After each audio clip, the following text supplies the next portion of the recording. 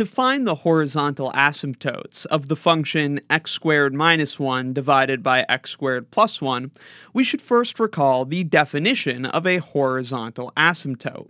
If the limit of the function as x goes to infinity is equal to L, or the limit of the function as x goes to negative infinity is equal to L, then we say that y equals L is a horizontal asymptote of the function.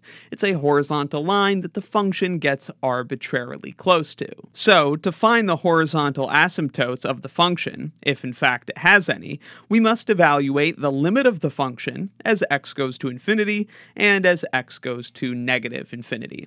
Let's first consider x going to positive infinity. One way to think about this is that as x gets really big, as it approaches infinity, this minus 1 and this plus 1 really don't matter at all, because x squared is going to be a very large number indeed. So the dominant terms are the x squareds in the numerator and denominator.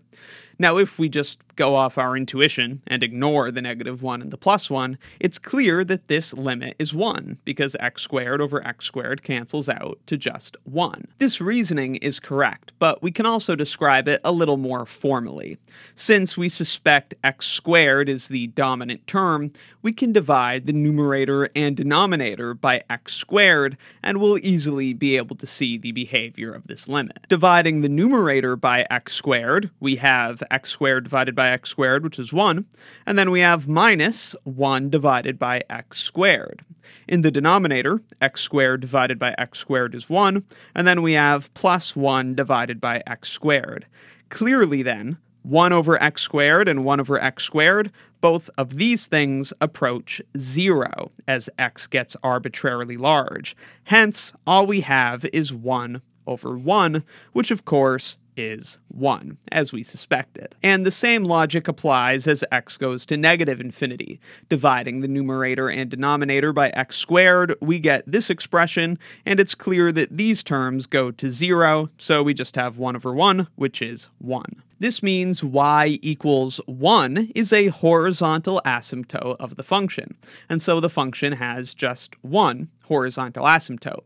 It's possible that these limits both exist and are distinct, and so a function could have two different horizontal asymptotes, or neither limit could exist, and the function could have no horizontal asymptotes. But as for this function, we see that its one horizontal asymptote is y equals 1, as we can see in this graph. As x goes to positive infinity, the function is approaching the horizontal line y equals 1, and as x goes to negative infinity, the function is approaching the horizontal line y equals 1. So to find horizontal asymptotes, just evaluate the limits at positive and negative infinity.